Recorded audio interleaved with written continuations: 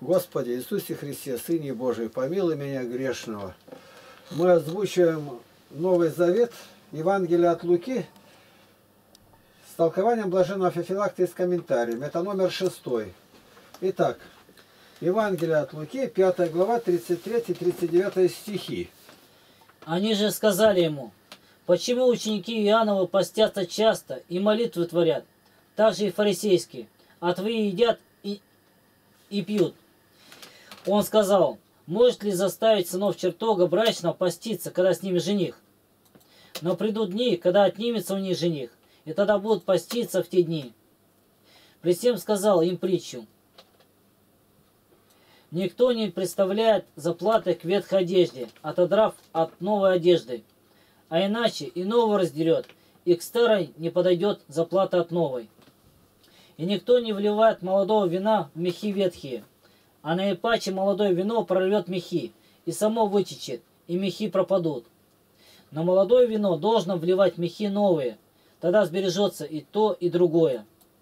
И никто, пив старое вино, не захочет тотчас молодого, ибо говорит, старое лучше. Толкование блаженного Филакта. Пришествие Господа уподобляется браку, потому что он принял церковь в невесту себе. Поэтому апостолам теперь не нужно поститься. Когда же я буду взять, а они будут посланы на проповедь, тогда они будут и поститься, и молиться, как приготовившиеся к великим подвигам.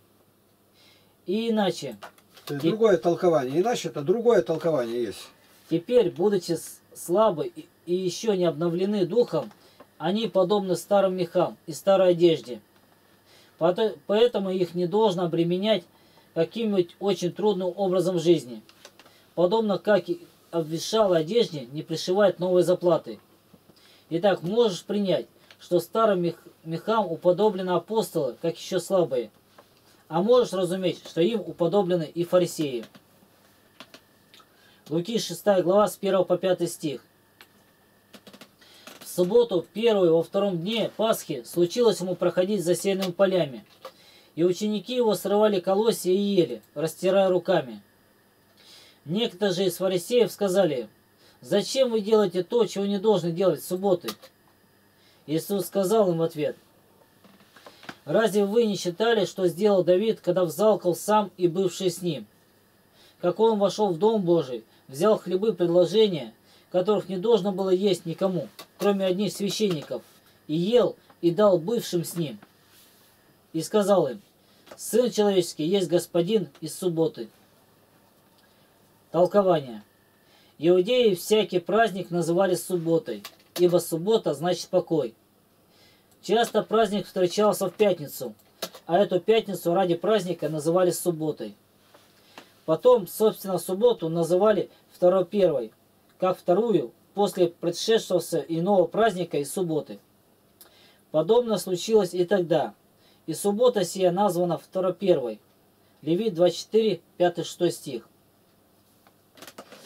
Ибо нет ничего нового в том, что меня и тебя называть сыном человеческим – а то замечательно, что он, причудно восчеловечившийся, называется Сыном Человеческим. Луки 6 глава 6 по 11 стих. Случилось же и в другую субботу войти ему в синагогу и учить. Там был человек, у которого правая рука была сухая. Книжники же и фарисеи наблюдали за ним, не исцелит в субботу, чтобы найти обвинение против него. Но он, зная помышления их, сказал человеку, имеющему сухую руку, «Встань и выступи на середину». И он встал и выступил. Тогда сказал им Иисус, «Спрошу я вас, что должно делать в субботу? Добро или зло? Спасти душу или погубить?» Они молчали. И, посмотрев на всех их, сказал тому человеку, «Протяни руку твою». Он так и сделал. И стала рука его здорова, как другая. Они же пришли в бешенство и говорили между собой, что бы им сделать с Иисусом. Толкование. Сухую имеет руку тот, кто не совершает никаких дел благочестия. Ибо рука есть орудие деятельности, а у кого она иссохла, тот без сомнения празден. Итак, Кто желает вылечить свою руку, уврачует ее в субботу. Не может тот совершить дел, дело благочестия, кто прежде не успокоится злобой. Уклонись прежде от зла, и тогда сотвори благое. Псалом 36, 27 стих. Итак, когда будешь субботствовать, то есть покоиться от злых дел, тогда прострешь руку твою на дела благочестия, и она у тебя восстановится. Луки 6 глава с 12 по 19 стих. В те дни взошел он на гору помолиться и пробовал всю ночь с молитвой Богу. Когда же настал день, призвал учеников своих и избрал из них двенадцать, которых и наименовал апостолами. Симона, которого и назвал Петром, и Андрея, брата его, и Иакова, и Иоанна, Филиппа и Варфоломея, Матфея и Фому, и Иакова Алфеева, и Симона, прозываемого Зелотом, Иуду Яковлева, Иуду Искариота, который потом сделался предателем. И сойдя с ними, стал он на ровном месте, и множество учеников его, и много народа из всей Иудеи, Иерусалима, и приморских мест Тирских и Сидонских, которые пришли послушать его и исцелиться от болезней своих. Также и страждущие от нечистых духов и исцелялись. И весь народ искал прикасаться к нему, потому что от него исходила сила и исцеляла всех. Толкование. Господь все творит в наше научение, чтобы и мы так же делали, как Он. Вот, например, Он намерен молиться. Он восходит на гору. Ибо молиться должно, успокоившись от дел, и, при лицом, и не при лицом многих, и молиться через всю ночь, а не так, чтобы встать на молитву и сейчас же перестать. Избирает учеников после молитвы, желая научить, чтобы и мы, когда нам приведется поставить кого-нибудь на духовное служение, брали за это дело с молитвой, искали руководство от Бога и Его просили показать нам достойного. А Господь имел силу, исходящую от Него, ибо Он сам был источник силы, тогда как пророки и святые получали особенную силу свыше. Луки 6 глава с 20 по 26 стих. И он, возведя очи свои на учеников своих, говорил – Блаженны нищие духом, ибо ваше есть Царствие Божие. Блаженны алчущие ныне, ибо насытитесь. Блаженны плачущие ныне, ибо восмеетесь. Блаженны вы, когда возненавидят вас люди, и когда отлучат вас, и будут поносить, и пронесут имя ваше как бесчестное, за Сына Человеческого. Возрадуйтесь в тот день и возвеселитесь, ибо велика ваша награда на небесах. Так поступали с пророками отцы их. Напротив, горе вам богатые, ибо вы уже получили свое утешение. Горе вам присыщенные ныне, ибо взалчите. Горе вам смеющиеся ныне, ибо восплачете и возрыдаете. Горе вам, когда все люди будут говорить о вас хорошо, ибо так поступали с лжепророками отцы их. Толкование. Господь, рукоположив учеников, через блаженство и учение приводит их к более духовному, духовное состояние. Вообще же все блаженства научают нас умеренности, смирению, уничижению, перенесению поношений. Подобно как горе назначается в удел тем, которые богаты в нынешнем веке. Горе. А почему горе, а не горе? Подобно как горе назначается в удел тем, которые богаты в нынешнем веке, они говорят, что они получают утешение, то есть здесь, в настоящем веке. Вкушают радости, веселятся, наслаждаются удовольствиями и получают похвалы. Устрашимся, братья, так как горе тем, кто имеет похвалу от людей. Ибо должно заслужить похвалу от людей, но прежде от Бога. Похвалу от людей, даже не боится говорить так. Лукиш... умирает сразу. Луки 6 глава с 27 по 36 стих. Но вам, слушающим, говорю, любите врагов ваших, благотворите ненавидящим вам, благословляйте проклинающих вас и молитесь за обижающих вас. Ударившим тебя по щеке подставь и другую, и отнимающему у тебя верхнюю одежду не препятствуй взять рубашку. Всякому просящему тебя давай, и от взявшего твое не требуй назад. И как хотите, чтобы с вами поступали люди, так и вы поступайте с ними. И если любите любящих вас, какая вам за то благодарность? Ибо и грешники любят любящих их. И если делаете добро тем, которые вам делают добро, какая вам за то благодарность? Ибо и грешники тоже делают. Если взаймы даете тем, от которых надеетесь получить обратно, какая вам за то благодарность? Ибо и грешники дают взаймы грешникам, чтобы получить обратно столько же. Но вы любите врагов ваших, и благотворите, и взаймы давайте, не ожидая ничего. И будет вам награда великая, и будете сынами Всевышнего, ибо Он благ и к неблагодарным злым. Итак, будьте милосердны, как и Отец ваш милосерд. Толкование блаженных филактов. Апостолы имели быть посланы на проповедь, и потому ожидали себе многих гонителей и наветников. Итак, если бы апостолы, тяготясь гонением, потом желая отомстить оскорбителям, умолкли и перестали бы учить, то солнце Евангелия погасло бы. Поэтому-то Господь предварительно убеждает апостолов не приступать к мщению врагам, но все случающееся переносить мужественно. Будет ли кто обижать их или не, неправедно злоумышлять против них, так и сам он поступил на кресте, говоря, «Отче, прости им, ибо не знают, что делают». Луки 23 глава 34 стих. Потом, чтобы апостолы не сказали, что такая заповедь «любить врагов невозможно», он говорит, «Чего желаешь ты себе самому, то делай другим». И будь в отношении к другим таков, какого желаешь иметь в отношении к тебе самому других. Если желаешь, чтобы враги твои были для тебя суровы, несострадательны, гневливы, то будь и ты таков. Если же, напротив, желаешь, чтобы они были добры и сострадательны, и непамятозлобивые, то не считай невозможным делом и самому быть таковым. Видишь ли врожденный закон в сердцах наших написанный? Так и Господь сказал, вложу закон мой во внутренности их, и на сердце их напишу их. Иеремия 31-33. Потом предлагает им и другое побуждение. Именно, если вы любите любящих вас, то вы подобны грешникам и язычникам. Если же вы любите злобствующих на вас, то вы подобны Богу, который благ неблагодарным и злым. Итак, чего вы желаете грешникам или быть подобными, или Богу? Потом убеждает и кончиной, и наградой, ибо в награду вам обещает то, что вы будете подобны Богу. Комментарий Игнатия Лапкина. Евангельское солнце будто погасло в православии. Христос ни разу нигде не сказал «совершай богослужение» и обязательно каждый день по 4 часа, и чтобы литургия непрестанно совершалась. Об этом нет ни слова, ни полслова.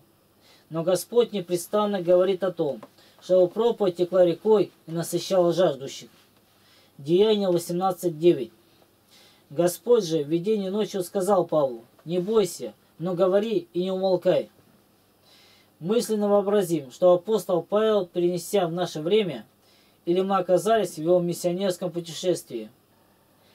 Подчинились бы мы ему, его ритму жизни, или сразу на него сделали донос и сковали бы на него литургические вериги, и принудили бы его отпевать всех мертвецов в Коринфе и Ареопаге, освещать воду в Тибре для всех римлян и делать все, что делают сегодняшние пастыри – или стали бы все-таки проповедовать и учить людей, подражая ему. Сегодня бы сегодняшний синод все-таки сумел бы арестовать Павла и замкнуть его уста. Но как бы мы обратились к Богу, если бы не было его посланий? Если бы апостолы умолкли и перестали бы учить, то солнце Евангелия погасло бы. Луки 6 глава с 37 по 40 стих. Не судите и не будете судимы. Не осуждайте и не будете осуждены. Прощайте и прощены будете. Давайте и дастся вам мерую добрую, утрясенную, нагнетенную и переполненную отсыплют вам в лоно ваше. Ибо какой мерой мерите, такой же отмерится и вам. Сказал та же им притчу. Может ли слепой водить слепого? Не оба ли упадут в яму? Ученик, не бывает выше своего учителя. но усовершенствовавшись, будет всякий, как учитель его. Толкование. Господь отсекает от наших душ самую трудную болезнь, разумея корень высокомерия. Ибо кто не назирает за самим собой, а только за ближним подсматривает и желает его опорочить, тот, очевидно, плененный высокомерием, забыл самого себя. Он все, конечно, думает о себе, что он не грешит, и поэтому осуждает других, когда они грешат. Итак, если не желаешь быть осужденным, не осуждай других. Ибо скажи, пожалуй, почему ты другого осуждаешь, как преступника божественных законов во всем? А ты сам разве не приступаешь божественного закона? Не говори о других грехах, тем самым, что других осуждаешь. Ибо закон Божий решительно повелевает тебе не осуждать брата. Значит, и ты приступаешь закон. А будучи сам преступником, ты не должен осуждать другого как преступника, ибо судья должен быть выше природы, впадающий в грех. Итак, отпускай, и тебе отпущено будет. Давай, и тебе дано будет. За одно твое благодеяние тебе заплатят бесчисленными. То же самое и об осуждении. Ибо осуждающий получает той же самой мерой, когда его впоследствии осуждают. Поскольку же он осуждается более, как судивший ближнего, то мера сия преисполнена. Господь, сказав это и запретив нам осуждать, представляет нам и притчи, то есть пример. Он говорит, осуждающий другого и сам те же грехи делающий. Скажи, пожалуй, не подобен ли ты слепцу, руководившему слепца? Руководящему. Руководящему слепца. Ибо если ты осуждаешь другого, а сам впадаешь в те же грехи, то вы оба слепы. Хотя ты и думаешь, что через осуждение руководишь его на добро, но ты не руководишь. Ибо как он будет наставлен тобой на добро, когда ты сам падаешь? Ученик не бывает выше учителя. И если поэтому ты, мним учитель и руководитель, падаешь, то без сомнения падает и руководимый тобой ученик. Ибо и приготовленный ученик, то есть совершенный, будет таков, каков его учитель. Луки 6 глава 41 по 45 стих.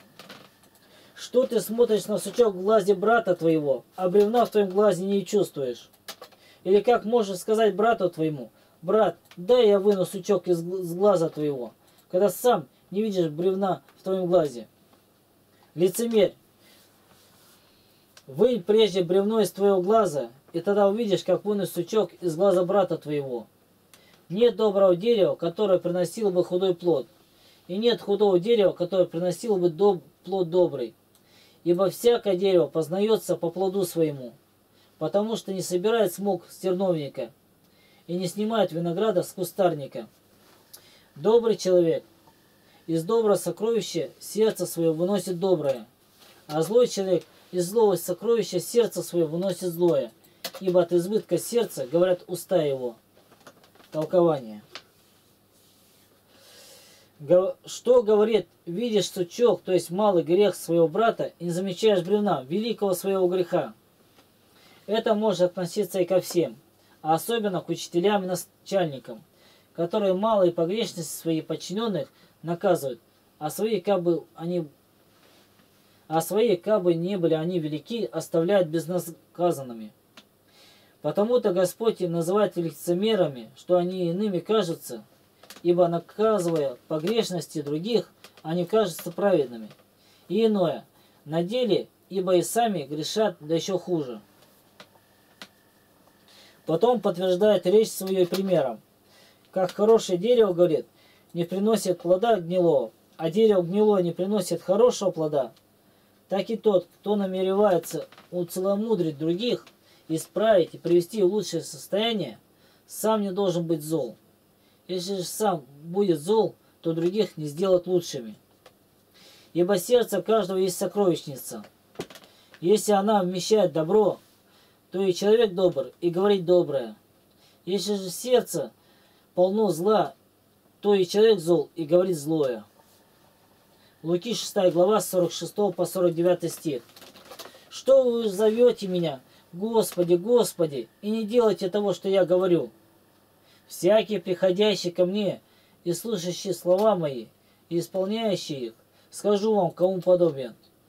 Он подобен человеку, строящему дом, который копал, углубился и положил основание на камни.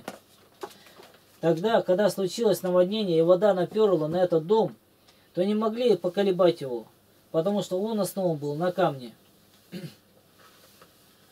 А слушающий и не исполняющий подобен человеку, построившему дом на земле без основания, который, когда наперла на него вода, тотчас обрушился, и разрушение дома сего было великое. Толкование. Это необходимо относится к нам, которые устами исповедуем Господом, а делами отрекаемся от Него. Титу 1.16.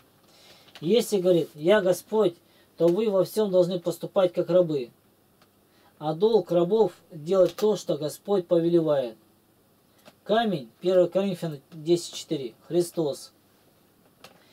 Копает и углубляет тот, кто принимает слова Писания не поверхностно, а изыскивает глубины их духом. Такое основывает на камне. Потом, когда случится наводнение, то есть гонение или искушение, река подступит к этому дому, то есть искуситель, без или то, или человек, и однако не может поколебать его. Искушающий человек очень справедливо может быть сравнен с наводнением реки. Ибо как наводнение речное производит вода сверху падающая, так и человека-искусителя вращает сатана, спадший с неба.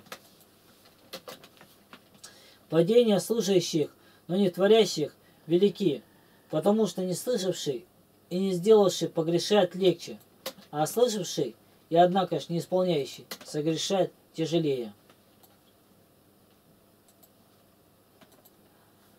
1 Коринфянам, ой, комментарий Игнатия Лапкина. Слушать Слово Божие нужно на родном языке и в самом богослужении. Сегодняшние глушители проповеди повторяют как заклинание. Само богослужение есть проповедь. Если это проповедь, то проповедь никому не понятная и потому мертвая. 1 Коринфянам 14.19. Но в церкви хочу лучше пять слов сказать умом моим, чтобы и других наставить, нежели тьму слов на незнакомом языке.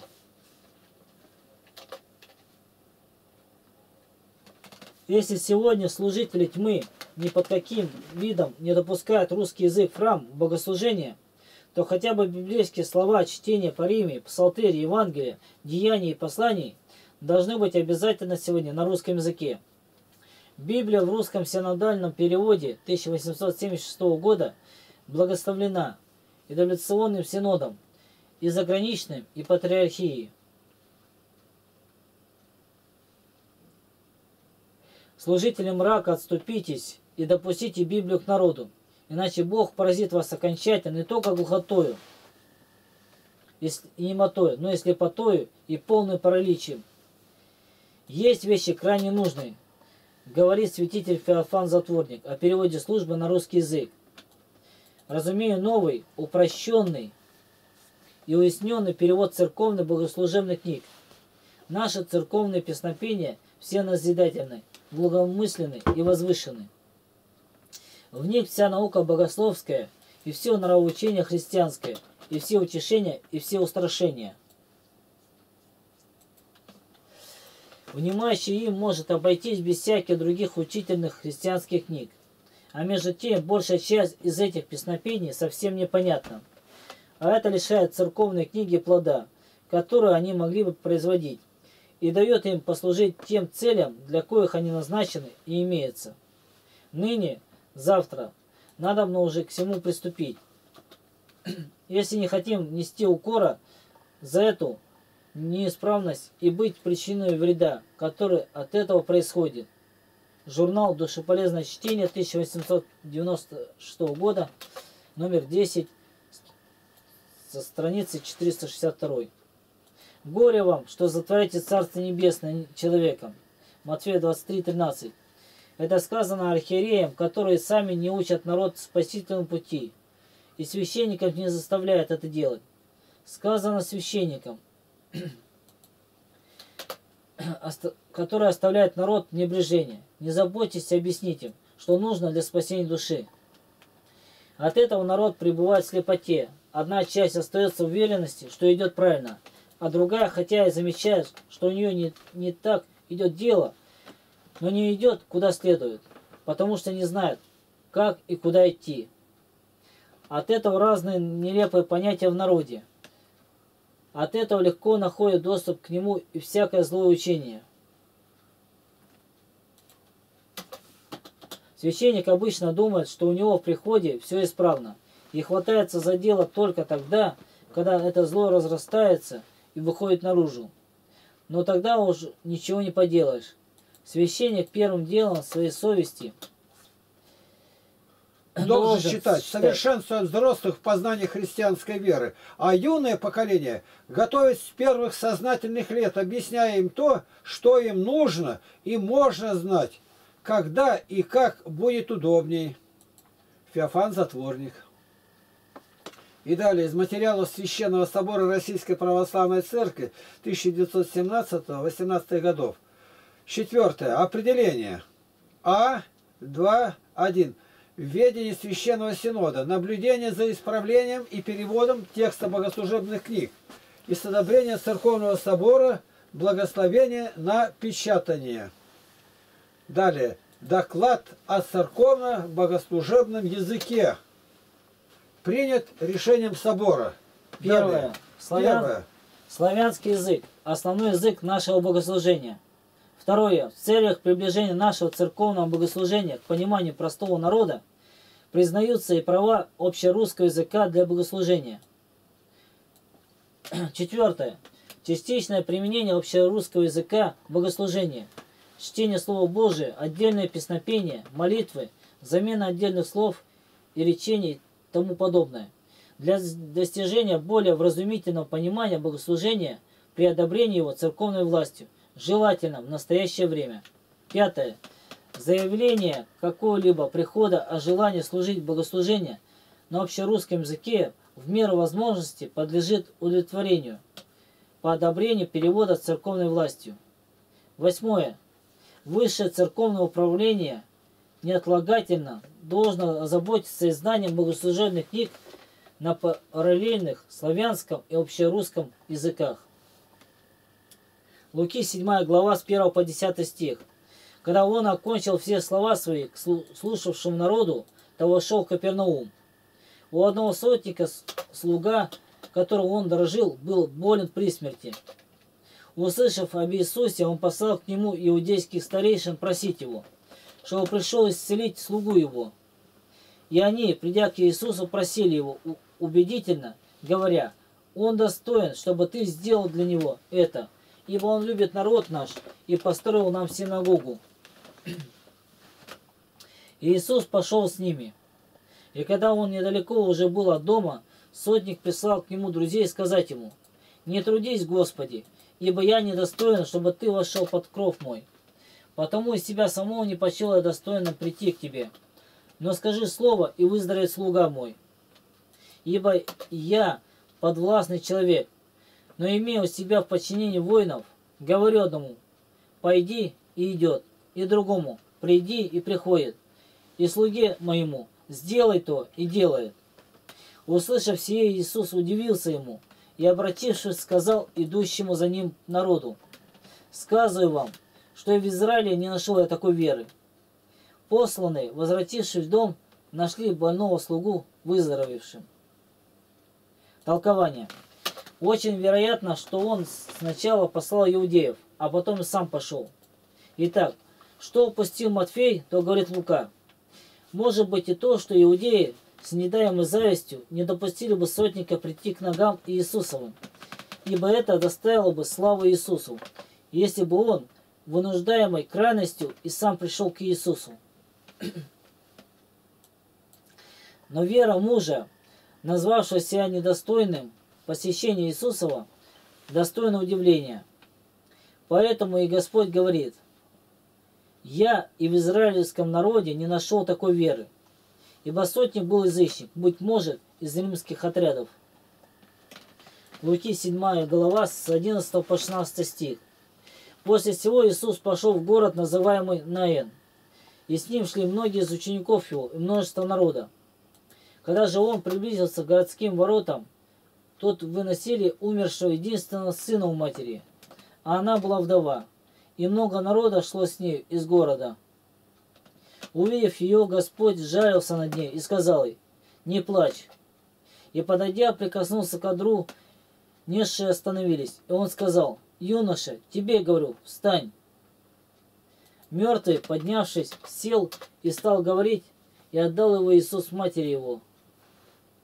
И всех объял страх и славил Бога, говоря, «Великий пророк восстал между нами, и Бог посетил народ свой». Толкование. То, что он сел и начал говорить, было признаком истинного воскресения. Ибо тело без души не может ни сидеть, ни говорить. Начинает говорить, то есть учить других, потому что, доколе он одержим бывает грехом, он не может учить и говорить, ибо кто ему поверит? Луки 7 глава 17 по 30 стих. Такое мнение о нем распространилось по всей Иудее и по всей окрестности. И возвестили Иоанна ученики его о всем том. Иоанн, призвал двоих из учеников своих, послал к Иисусу спросить, «Ты ли тот, который должен прийти, или ожидать нам другого?» Они, придя к Иисусу, сказали, «Иоанн Креститель послал нас к тебе спросить, ты ли тот, которому должен прийти, или другого ожидать нам?» А в это время он многих исцелил от болезней и недугов, и от всех злых духов, и многим слепым даровал зрение. И сказал им Иисус в ответ, «Пойдите, скажите Иоанну, что увидели и, и слышали. Слепые прозревают, хромы ходят, прокаженные очищаются, глухие слышат, мертвые воскресают, нищие благовествуют, и блажен, кто не соблазнится мне. По отшествию же посланных Иоанном начал говорить народу об Ионе. Что смотреть ходили вы в пустыню? Трость ли ветром колеблему? Что же смотреть ходили вы? Человек ли одет в мягкие одежды? Но одеваешься пышно и роскошно живущий находится при дворах царских. Что же смотреть ходили вы? Пророка ли? Да, говорю вам, и больше пророка все есть, о котором написано. Вот, я посылаю ангела моего при лицом твоим, который приготовит путь твой перед тобою. Ибо говорю вам, из рожденных женами нет ни одного пророка больше Иоанна Крестителя, но меньше в Царстве Божьем, больше его. И весь народ, слушавший его, и мытари, воздали слово Бога, крестившимся крещением Иоаннову. А фарисеи и законники отвергли волю Божию о себе – не крестившись от него. Да. Толкование. Слух о чуде, совершенном в Наине, разнесся по всей Иудее и окрестной стране. Дошел он и до учеников Иоанновых. При похвалах Господу они, как еще несовершенные, досадовали. Поэтому Иоанн, желая показать им величие Христа и то, насколько он, Иоанн, отстоит от него, Христа, устрояет следующее – не делать ученикам никакого отзыва об Иисусе, а представляя незнающим, посылать их, чтобы они, увидев чудеса из самих дел, уверовали. Что весьма велико расстояние между Господом Иисусом и рабом Иоанном. Ибо не думай, будто Иоанн действительно не знал о Христе, и потому послал учеников своих с вопросом. Он еще прежде рождения в утробе матери взыграл, как познавший его, и на Иордане свидетельствовал о нем, как о Сыне Божием. Господь грядущий, ибо Он пришел с властью, а не против воли. И так говорит, ты ли тот, чье пришествие мир ожидает? Иные, под словами которому должно прийти, разумеет, сошествие в ад, как бы так было сказано. Ты ли имеешь прийти в ад? Что же, Господь? зная, с каким намерением Ян послал учеников, именно, чтобы они увидели дела его и от них пришли к вере. Он говорит посланным, возвестите, что видите. Потом перечисляет чудес, чудесные действия, о которых и пророками предвещено. Ибо слова «Тогда откроются глаза слепых, и уши глухих отверзутся, тогда хромой вскочит, как, олень, и язык не мог будет петь». Исайя 35, 5-6 стих. Потом говорит, «И блажен, кто не соблазнится мне». Как бы так говорит им, «И вы блаженны, если не соблазнитесь о мне». Поскольку многие легко могли соблазниться об Яне, как же он прежде столь много свидетельствовал о Христе, а теперь послал с вопросом, «Ты ли тот, к которому должен прийти?» Поэтому Христос говорит народу, «Ничего подобного не подозревайте об Яне». Он не трость, чтобы склоняться на, на ту сторону, То на ту сторону, то, То на на другую. другую. и чтобы в одно время свидетельствовать о мне, а в другое не знать меня. Ибо если бы он был таков, тогда для чего бы вышли вы в пустыню смотреть его?